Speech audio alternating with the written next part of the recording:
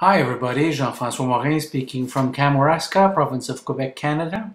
Following up on a situation uh, reported earlier on YouTube end of January 2013, which was the failure of our tower uh, in very high winds and uh, that resulted in the loss of our 800 watts Missouri wind and solar turbine, a total loss as you could see and um, since then, we've rebuilt uh, the tower. We've now have a 65 feet tilt-up tower with a super dual Missouri wind and solar uh, turbine, the General, a 2000 watts turbine. So a tilt-up tower, uh, as you can see, the uh, basis is in concrete. There are five bases, 36 by 36 inches, 48 inches deep the um, bottom the bottom plate is uh, three quarters of an inch thick. The side plates half an inch, and the pipe is the regular Schedule 10 uh, 4 inch pipe. The wiring, the rundown uh, from the tower is uh, 8 uh, AWG cable. Uh, and uh, you can see it's uh, structurally grounded. Also it's bolted so there's uh, no way anything could uh, throw that down throw that down uh, hopefully. What you're looking at now is the uh, gin pole which is 22 feet long. It um, attaches to one of the concrete bases with the a 5 eighth of an inch turnbuckle you see the uh, turnbuckles also for the guy wires. Uh, the top wires, top wire is 5 sixteenths of an inch.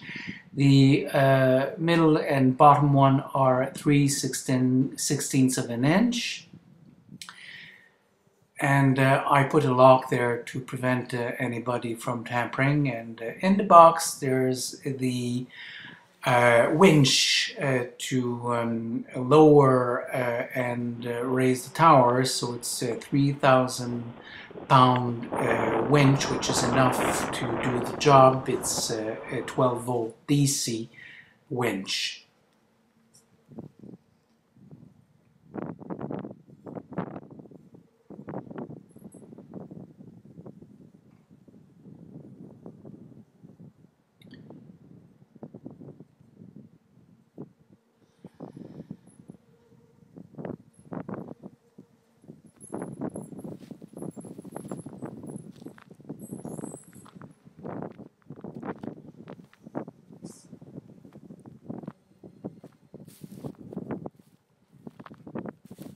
The little brown block, there are three of them, are for um, the, to, so that the tower is supported when it's coming down. Here you see the rod, which is uh, at the bottom, the, the, is at an angle of 55 degrees. And um, I have locks there also to prevent anybody from uh, playing with the uh, turnbuckles.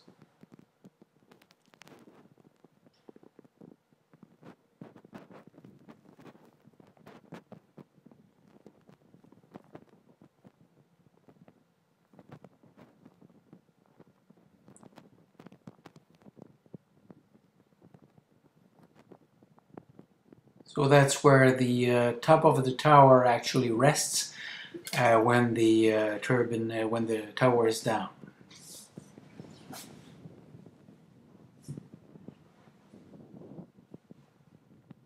So on the left you have the shack where uh, on top of it there's a spot which illuminates the top of the, uh, the wind turbine and um,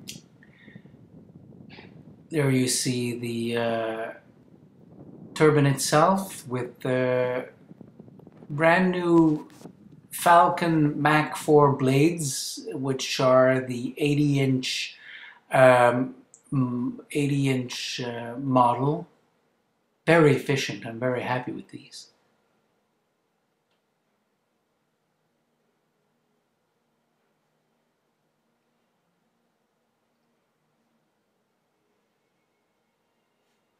That's a view from the inside of the house where I sometimes bring my computer and work. So when I look out the window, that's what I see.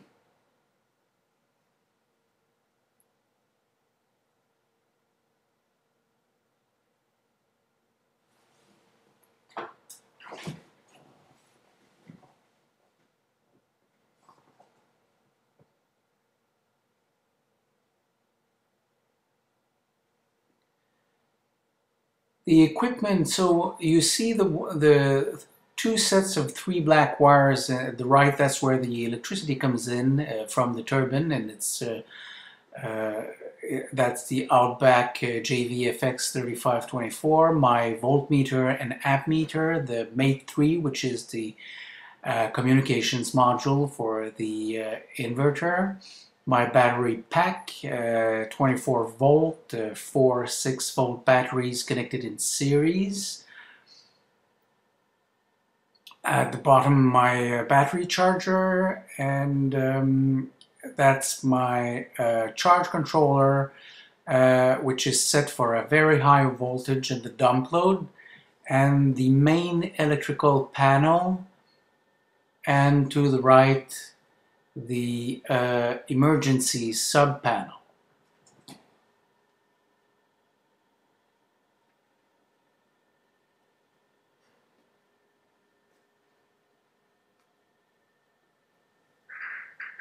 So that's uh, the voltmeter uh, in the blue. It indicates the voltage of the battery bank and in red the amp meter uh, which um, measures uh, the amperage uh, uh from the turbine uh, on the DC side.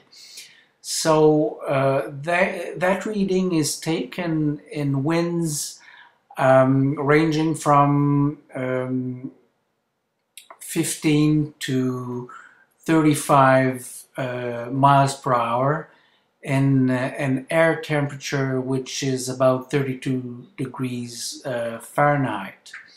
So you see that that's uh, very good results actually. I would say that uh, on average um, uh, when winds at 32 degrees Fahrenheit Fahrenheit uh, are at 20 miles per hour, I, I I have more or less 20 amps and at 30 miles per hour I have more or less 30 amps as a rule of thumb.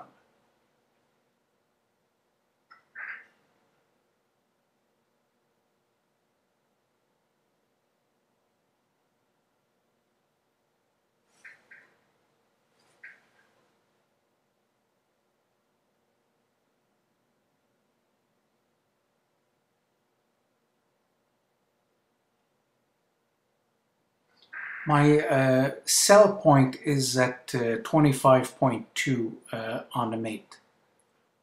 It, it's a grid tie system that I have.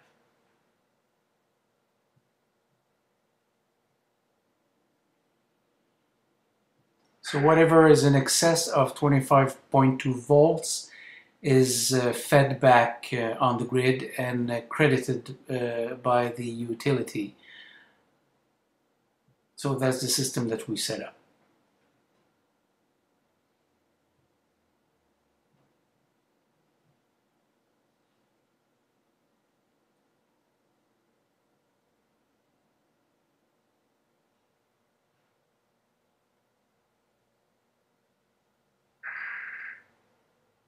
So thanks for watching. This is the end. Uh, more to come eventually. Thank you.